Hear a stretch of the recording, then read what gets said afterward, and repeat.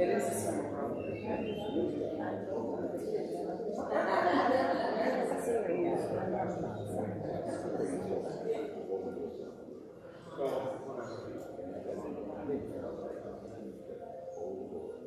People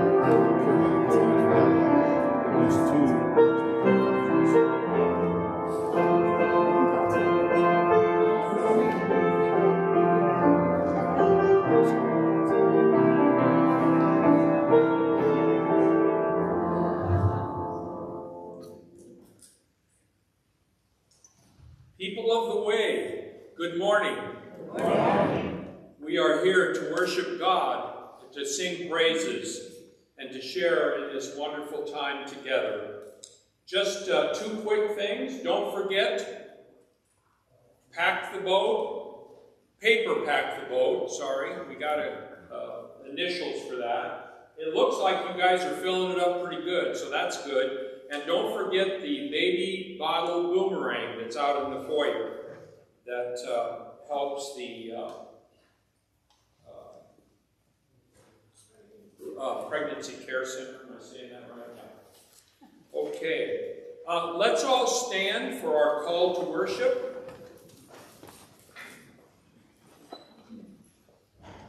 We praise creation's God. Blessing and honor, glory and power. Let each single voice praise God. Blessing and honor, glory and power. Let all voices together praise God. Blessing and honor, glory and power. Let the great multitude of nations praise God. Blessing and honor, glory and power. With all creation, we praise God. Blessing and honor, glory. Pray with me. Heavenly Father, we thank you for this beautiful day, this day that we call Mother's Day, and we celebrate all the women of the church who have come to worship here and in other places of worship. We thank you for their blessing to humankind and all that you have given to us through them. We thank you, Lord, for this opportunity to worship. We praise you, we thank you and we give you honor and glory. Now be with us during this time. Guide, direct, protect us. Be with those who cannot be here for reasons of sickness or difficulties. We pray your blessing upon them and this time together. In Jesus' name, amen. amen. And Matt's going to share some songs with us. Good morning. Well, you did so well last week with this new song. I thought we would do it again. This is Holy is the Lord God Almighty.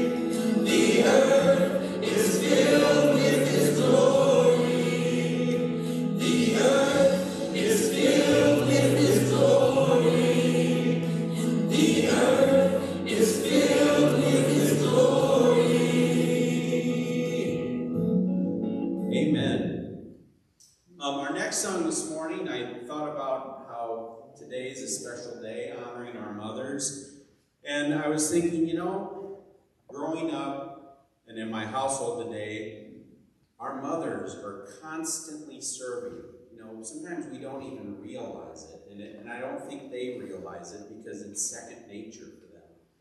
And my prayer is today is that serving others like our mothers serve their families would be second nature to us. Make me a servant.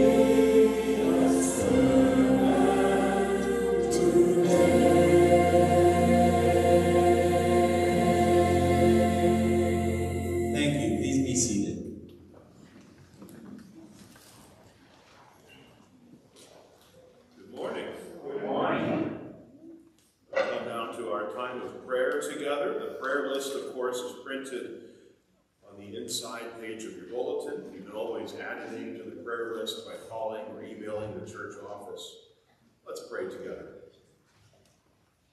Compassionate God, we pray for vulnerable people all over this world. People without power, people who live in places of terror or violence, places of fear and oppression. Protect them, God. We feel so powerless ourselves to help them, especially as we think of our brothers and sisters in Burma and Ukraine and in other places where people live in fear and danger. Encourage and empower us to work for peace and freedom, freedom from fear in our own lives.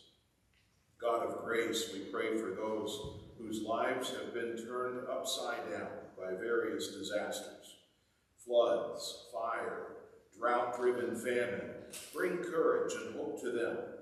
Through their pain, may they be reconnected to you in prayer. We pray for those who say there is no God. May we, through the living of our own lives, demonstrate the joy and peace of a spirit-centered existence. God of community, we pray for our own congregation, for our own city, for our own neighborhoods. May we be a source of hope for our neighbors. Help us to discern the needs of those around us and work to fulfill them.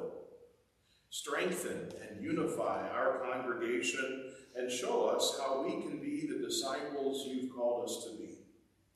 Return the sick to health and well-being. Relieve the suffering of those who have lost loved ones and are unable to find meaningful hope. Be a source of courage and hope to those who are unemployed or underemployed. Be with those who experience fear in any type during their lives. Guide us, great shepherd, into your paths of right relationships. All these things we pray as Christ our Savior has taught us, saying, Our Father, who art in heaven, hallowed be thy name. Thy kingdom come, thy will be done, on earth as it is in heaven. Give us this day our daily bread, and forgive us our debts, as we forgive our debtors. And lead us not into temptation, but deliver us from evil. For thine is the kingdom, and the power, and the glory forever. Amen. If you look around the walls and up here on the chancel and on the windows behind you, there's a lot of handmade stuff that our ABW, our American Baptist Women's Group, have put together. I don't recall the details. Marianne, would you be willing to share just briefly what all of this is and where it's going? Marianne and I chose to wear the same outfit today, so I thought she would be a good one to stand next to. The 90 pillowcase dresses are going to the Little Dresses of Africa. Um, we have to send $2 per dress for shipping costs going to from Wisconsin to Africa. There are 25 birthing kits along the back walls. We have to send um, $2 a piece for those on shipping. And then there are 10 um, quilts that are going to go to the um, hospitals and children's centers in the greater metropolitan area.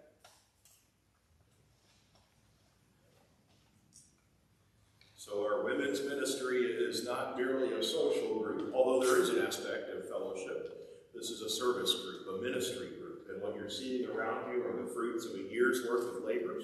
We did this last year as well, so I'm going to offer a prayer of blessing for all of these along with our offering. So first, we'll, we'll invite the ushers forward, but with the offering sentence today that comes from Revelation, um, the fifth chapter of Revelation. Worthy is the Lamb that was slaughtered to receive power and wealth and wisdom and might and honor and glory and blessing. And as we've prepared our offering in these forms, now we also invite the ushers to receive our monetary offerings and gifts today.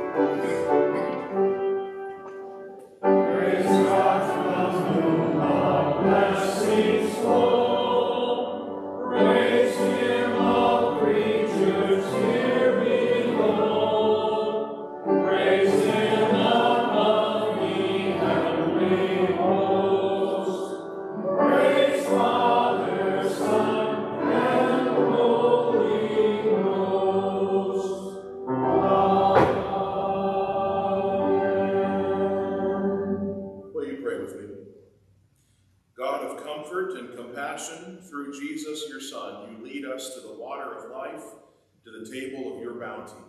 We offer you our gifts and our offerings, the fruits of our labors, dresses, birthing kits, afghans, and quilts lovingly handmade for the benefit of others. We pray that you take all of these offerings and use them in your name for your glory, for your people here and around the world. We pray this in your Son's name. Amen. You may be seated.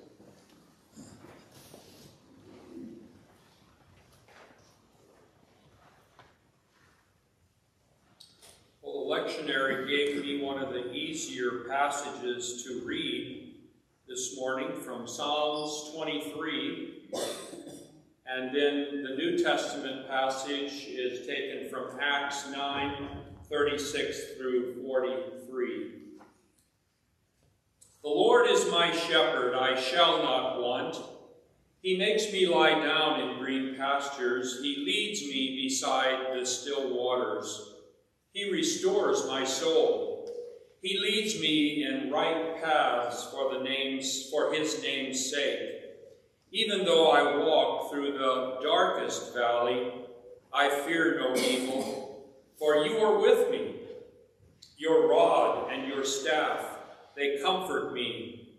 You prepare a table before me in the presence of my enemies. You anoint my head with oil. My cup overflows. Surely goodness and mercy shall follow me all the days of my life, and I shall dwell in the house of the Lord my whole life long. And from Acts, now in Joppa there was a disciple whose name was Tabitha, which is Greek, in Greek is Dorcas. She was devoted to good works and acts of charity. At that time, she became ill and died. When they had washed her, they laid her in a room upstairs.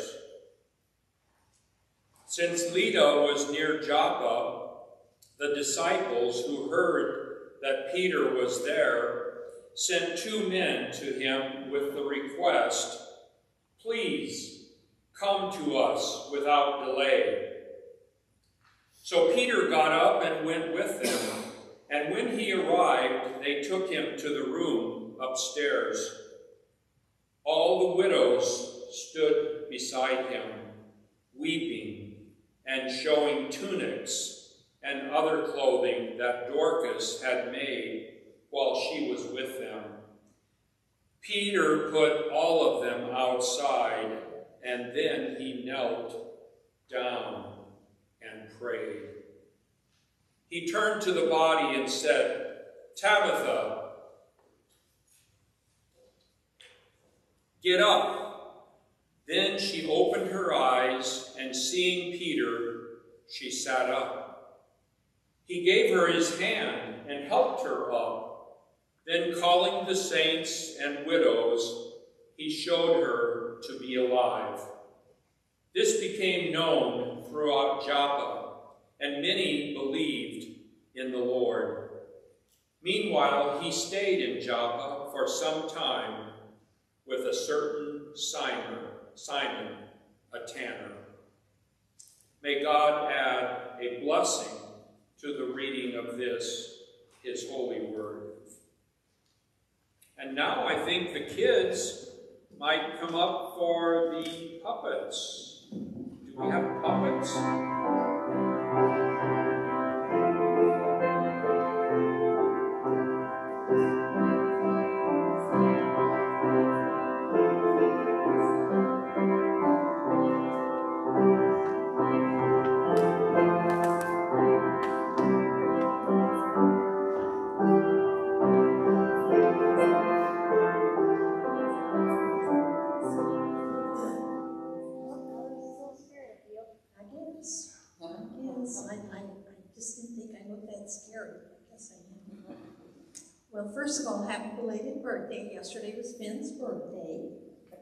Were eight? Nine? How did that get away from me? Nine? That's hard to believe, Ben. But happy. Ben celebrated all week, so he, he's had a good birthday. And I do have to say, my husband's birthday is today, so I can't really. So happy birthday, Ray. Did you do anything with all this birthday stuff you've got going on, Ben? Did you do anything special for your mom yet?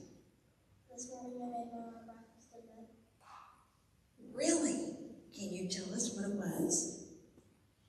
I first chose sticks and there was a little cup holder. I put a little bouquet of fake flowers in there and then there was a slot that I put cards in. And my brother helped me with it. Very, very nice. Ella, did you do anything? Oh, me and the boys got her like a flower pot with flowers. Okay, all right, so I would say you've had a good morning. All right. Well, do you think the puppets have anything planned for today? I'm guessing so too. Let's see. Good morning, kids. Hi, everybody. Happy birthday, Ben. Yep, happy birthday. Shalom, everybody, and welcome. And um, I'm curious, how does this work? If it's Ray's birthday, but Mother's Day, who waits on who?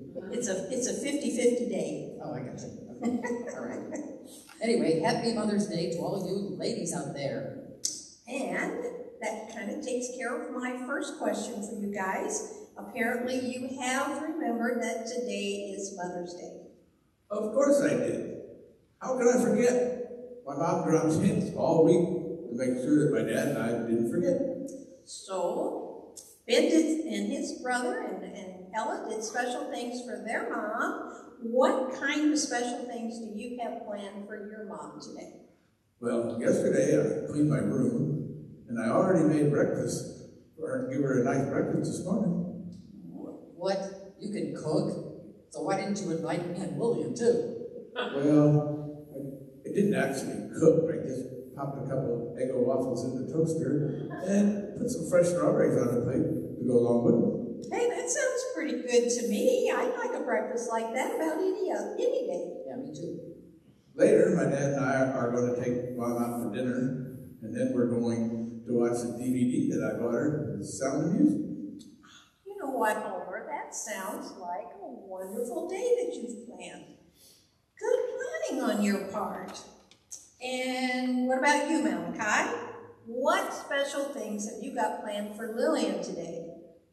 Well, until a little while ago, nothing. But, well, let, let me explain, let me explain. Okay. How? Anyway, that Bible passage Adrian just read changed my mind. Here's the deal. Lillian gave me strict orders not to fuss over her on Mother's Day because we don't have any kids. She claims she doesn't deserve to be honored today. Oh, it's just silly. Of course she deserves to be honored along with all the other mothers and caretakers that we have all over the place. Well, that's what I thought too. I mean, think about it. She and I may not have any actual kids, but she's got me. She takes care of me all the time, and you all know what a big baby I can be. Yep, yep, I won't dispute that. That's true. Yeah. From your mouth to God's ear. Ain't that the truth? Anyway, anyway, she takes care of me and all the neighborhood kids. She volunteers at the local food bank. She donates money to all kinds of charities so people have all the things they need. Aren't those the kind of things moms do for their families? That's exactly the kinds of things that moms do. Absolutely, Malachi. Lillian pretty much is the second mom to me anyway, so, you know, I can, I can tell. Yeah, right? that's, yeah, that's true. She's a lot like that Tabitha person that Adrian just read about from the Bible. Oh, how did that go exactly? Well, I believe the passage says that Tabitha was always doing good and helping the poor. Yep, that's right, and that's my Lillian. So I'm going to ignore what she told me and do everything I can to honor her today. I'm going to start by bringing her some flowers if the florist shops are still open. Well, you know what, Malachi? You are in luck today. You don't have to go to the florist. We have flowers right over here that we're gonna give to all the ladies who are here this morning in church.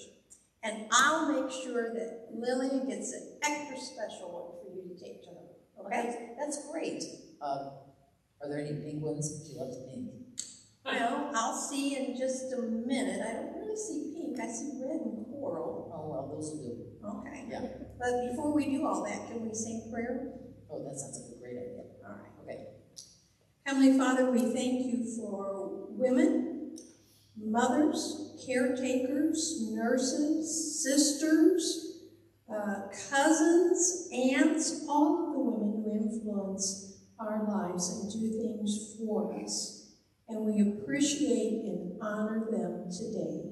And we pray, Lord, that you will bless them with a wonderful day today and throughout this week. In your name, amen. Amen. Oh, over there, I see them. Are those the flowers you're giving out? There they are. They're over there on the on the pews. So what we're going to oh. do, all the ladies, would you please stand? Ben, would you go over and help them pass out flowers? So all the ladies, please stand, and when you get your flower, if you will sit down so we know that you have gotten your flower, we will appreciate that. And just go to anybody that's standing up. I can't believe you're, you're making him work on, on the day after his birthday. Day after his birthday, you know what, he's really happy to do that. Hey, this is why people have kids. That's right. That's right. So when you, again, when you get your flower, you may be seated. Oh, look at this, Pastor's gonna take the oh, big ones. He's figured out a way to, to get more help here. Hey, don't forget about me. I need one for Lily. Oh yeah, we gotta have one up here for Lily. That's right. That's not gonna get you all in trouble.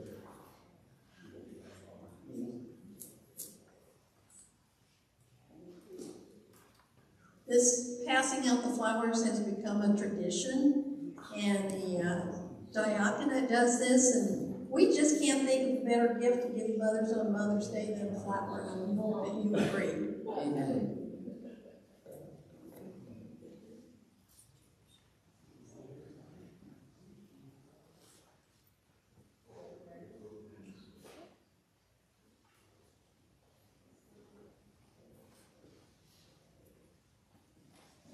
I'm gonna give this one for Lillian.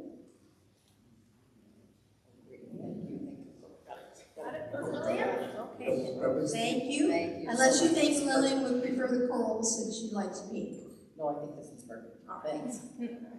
So every lady, every lady got a flower?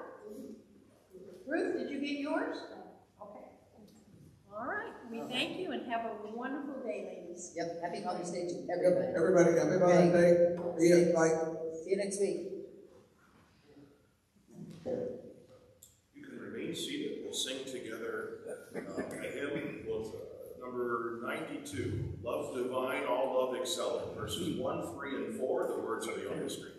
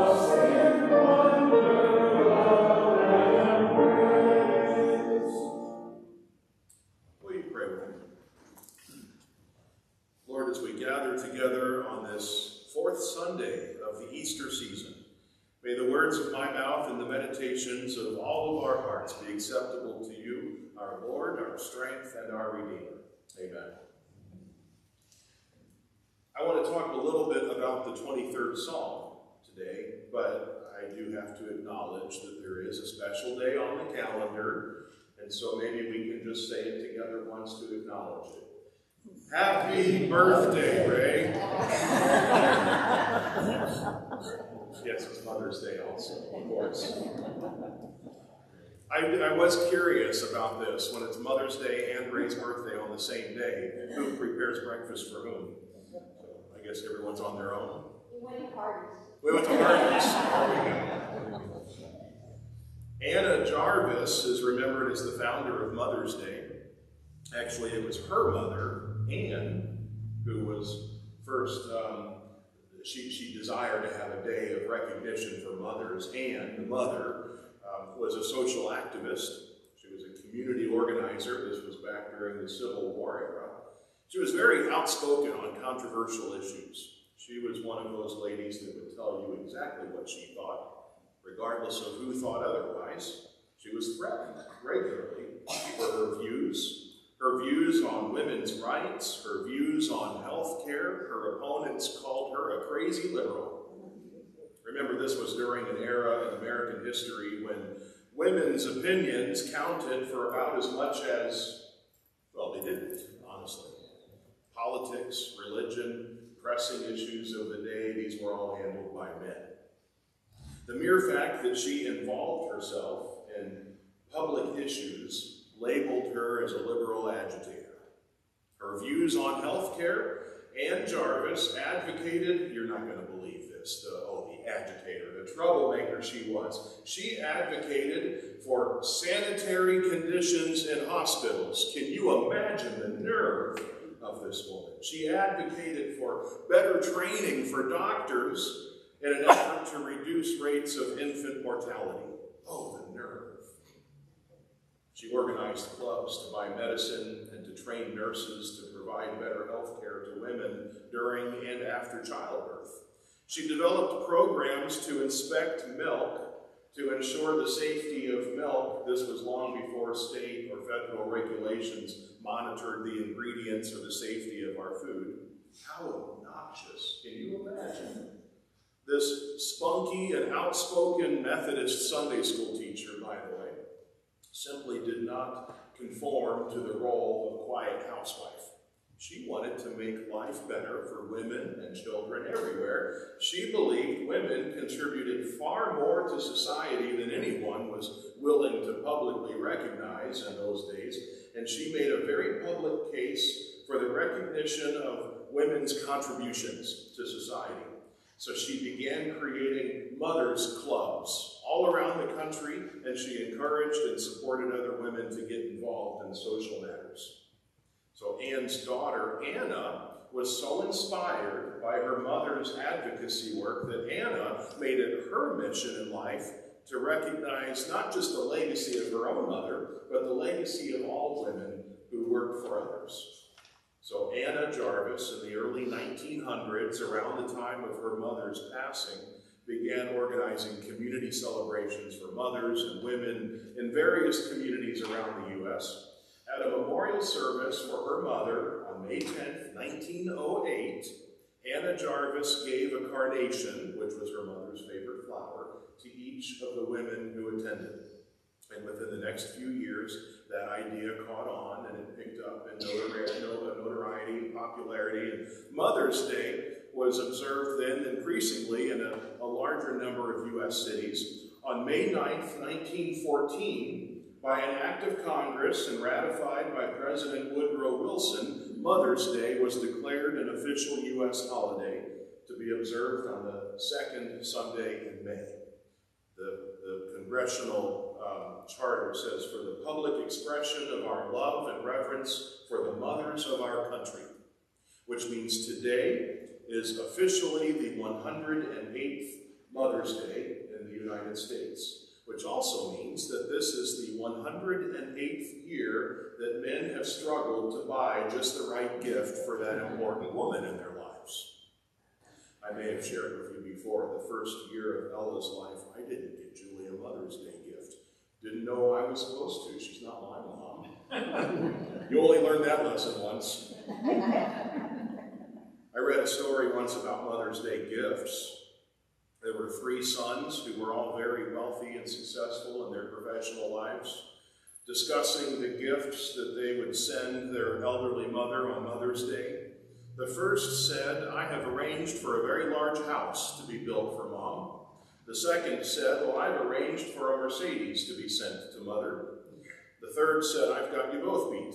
You know how Mom enjoys the Bible, and you know she can't see very well, so I sent her a parrot that can recite the entire Bible. It took 20 monks in a monastery more than 12 years to teach this parrot to do this. I had to pledge to contribute $100,000 to the monastery, but it was worth it. Mom just has to name the chapter and the verse, and the parrot will recite it. A few weeks later, Mom mailed her thank you letters to her sons. To the first son, she wrote, Dear Michael, the house you built is too large. I only live in one room, and I have to clean the whole thing. to the second son, she wrote, Dear Marvin, you know my eyesight is failing. I don't drive much anymore. I stay home, and I never really use this car. Dearest Melvin, she wrote to the third son, you were the only son to have the good sense to know what your mother likes. That chicken was delicious. so back to Anna Jarvis for a moment.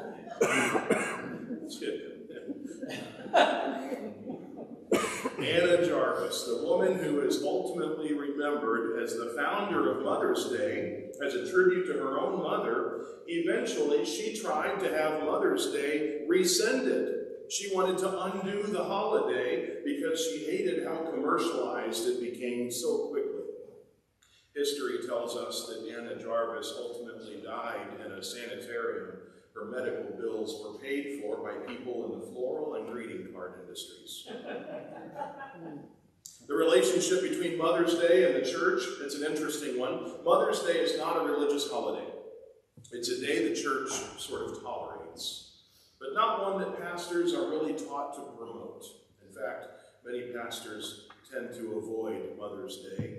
It falls right in the middle of Eastertide, that season between Easter and the ascension of Christ. This is a time when normally we preach about resurrection and post-resurrection appearances of Jesus, teaching the disciples about discipleship and all of that, and it's not really a scripturally based holiday.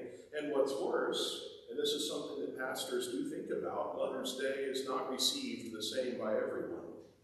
There are women in our world today who abandon, abuse, or corrupt their children, who create a poor role model. For some, motherhood is an accident, not always a welcomed one. For some, biological motherhood is not possible, and today this stirs up all sorts of emotions. For some, mothers weren't really all that nice, and the thought of a day to honor mom is just kind of hurtful for wounds that haven't been fully. For some, motherhood, under the very best of circumstances, isn't quite the bed of roses June Cleaver made it out to be. Let's be honest, Mother's Day for a lot of people can be complicated. So what does all of this have to do with our readings today? Truthfully, not much, at least on the surface. I think in our world today we have finally come to realize there's much more to mothering than simply birthing children. We talked about this some during presentation. There is a component of service, a component of service combined with compassion, that love-based service of others. And this is much less about biological motherhood and much more about sacrifice and giving.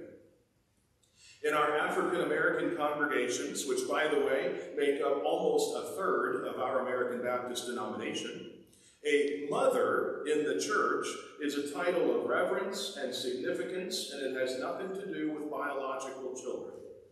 A mother in the black church is typically an older woman, strong in her faith, who is looked upon as a godly lady to serve as an example of care and compassion and leadership in the community.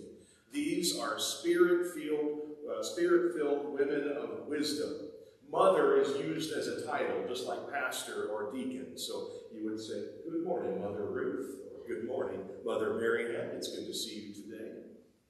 The characteristics of mother in the black church are remarkably similar to the characteristics of the shepherd described in the 23rd Psalm. I wonder if when you hear that 23rd Psalm, if you can imagine that mothering type of a person. For centuries, the 23rd Psalm has been one of the most treasured passages in our scripture. It's among the, one of the most familiar. It's so familiar that even people who don't come to church recognize these words. They're among the most comforting passages of scripture, often quoted in times of trouble or distress, almost always used at funerals. There are many images in the 23rd Psalm that hold particular meaning one image comes from the verse, Yea, though I walk through the valley of the shadow of death, I will fear no evil, for thou art with me. Thy rod and thy staff, they comfort me. They comfort me. It would be so wonderful if God could simply promise us that we would never go through difficult times in life. Wouldn't that be nice? If God would say to us, everything's going to be perfect, you'll never have difficulties or challenges or times of trial. Through great times of trial. We go through terrible difficulties. These happen all the time in people's lives. And God constantly warns us of these dangers. St. Peter wrote in his first letter, Dear friends, do not be surprised at the painful trials you are suffering, as though something strange were happening to you. We're told that even though we're followers of Christ, we will still endure uncomfortable uh, times of difficulty and distress. The Bible tells us there will be difficult times. Psalm 23 voices such a warning. It does not say God will keep you from danger, but rather it describes that there will come times, they will come for all of us, when we feel like we are walking through a dark, dark valley, a valley of loneliness, a valley of despair. But what the Word of God does make very clear is that as we move through these dark valleys, God is with us. We're not alone. God is there to comfort and sustain us like a loving and compassionate mother. God is there to protect and care and guide us. If the image of God as a mother is troubling for you, after all, we do so often use the masculine language to describe God, I might direct you to the Old Testament book of Isaiah, where God says through the prophet, As a mother comforts her child, so I will comfort you. You can find that in the 66th chapter of Isaiah. Or Jesus' words recorded in both Matthew and Luke's Gospel Jerusalem, O Jerusalem, you kill the prophets and stone those who sent to you, how often I have longed to gather your children together as a hen gathers her chicks under her wings. And in the 23rd Psalm, even though we see the masculine pronoun he used to describe the shepherd, the life-giving acts described in the 23rd Psalm, they really do fit the role of a church mother, setting us straight, caring for us during difficult times, challenging us, keeping us together, and like a mother bear protecting her cubs, guarding us, watching over us, protecting us from evil. Janice Hunt Johnson is an author. She's the founder of a ministry called Renewal Ministries. She's written her own version of the 23rd Psalm, especially for Mother's Day, and I think it does a brilliant job of capturing this image of a church mother describes mothering characteristics, the life-giving acts of God. It goes like this. God is our mother, shepherding me through life. I have everything I need. She makes me take a breathier lie in the grass and walk by the peaceful lake. I feel her healing power. She gives me fabulous meals, motivational conversations, and steers me in the right direction for goodness sake. Yes, even when really bad things happen, or I get into big trouble, I don't have to be afraid of anything because you, Mother, make everything all right. Even if things are looking grim and we're surrounded by bad news, you don't run and hide. You protect me. You just keep preparing only the best for me, right here in front of me. You choose me for a special purpose. You comfort me. You guide me, you challenge me, and you always provide me with more than I need. Without a doubt, all your goodness, patience, and forgiveness will persistently follow me for as long as I live, and I will live in your heart and home forever and ever. May God bless all of our church mothers. Amen. Amen. Will you pray with me? Lord, as we reflect on the 23rd Psalm, the image of your compassionate care for us, help us also to see the compassion and care that we receive from women in our own lives, the women who have answered your call to serve one another.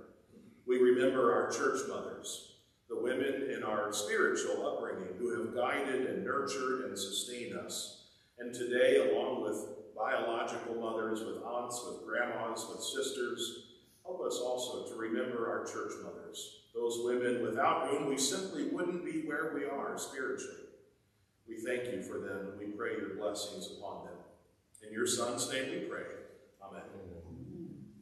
If you would stand with me as you're comfortably able, we'll sing hymn number 379, Take My Life and Let It Be, verses 1, 5, and 6. And the words will be on the screen.